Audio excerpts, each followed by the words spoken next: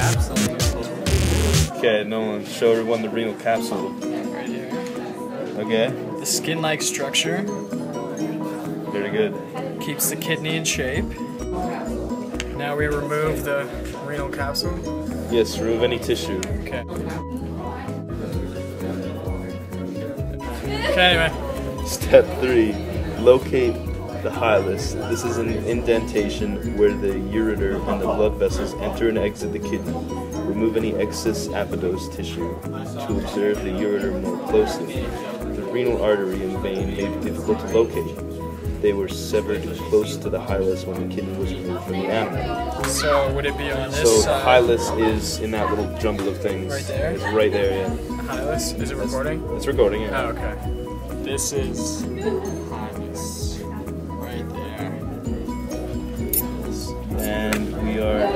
Remove it. Insertion. See the layers. Hey, look, layers. Okay, what do we have to locate? The cortex and the medulla. So, cortex, It's the outside part. yeah, the yeah. kind of fans out, and the medulla is just inside of it. Yeah, the darker area. The medulla consists of numerous conical structures called renal pyramids. The base of each pyramid lies next to the cortex. You know what that is? yeah? Cortex is the big white thing in the middle. Yeah. While the tip forms a renal palpula. The tip's right here. The tips. The tip goes in by there. Each palpula projects into the renal sinus. Okay. Just did all that. Renal pyramids are separated by bands of tissue called renal columns. Each column begins in the cortex and extends through the medulla. Examine the texture of this tissue. Columns have a granular texture similar to that of the cortex. Both grainy. Explain that to me. How's it feel? Use your finger. Use my finger. It's very rough, very grainy, like it described. Um, each renal pyramid and adjacent cortical region make up a renal lobe. Urine production occurs in the renal lobes. Each renal palpula discharges urine into a cup-shaped minor calyx. Four or five minor calyces merge to form a major calyx. Major calyces merge to form the renal pelvis. The renal pelvis is formed by a wall of thick fibrous tissue and forms the expanded end of the ureter. It's right there where the divot is. Using a scalpel, carefully cut one mole of the ureter and extend the incision to the hilus. The ureter is continuous with the renal pelvis. Observe the fine ridges on the endothelial lining of the ureter and renal pelvis. You kinda can see the ridges.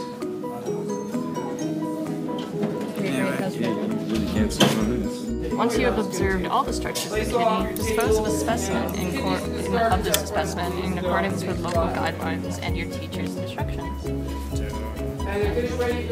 have to go to the other.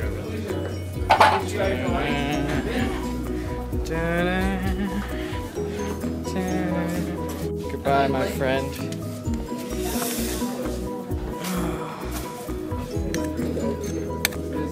And he's gone. Do you want to say a couple words? Bye. Rolling. Where is what is the function of the hilus nolan? Hilus. The depression where the renal artery, renal vein, and the ureter enter and exit the kidney.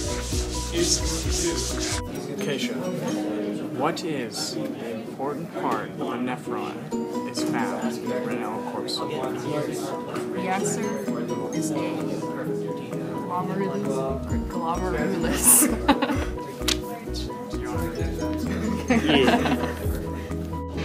Question three.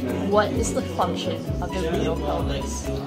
The renal pelvis is a large cavity that receives urine from major calyces.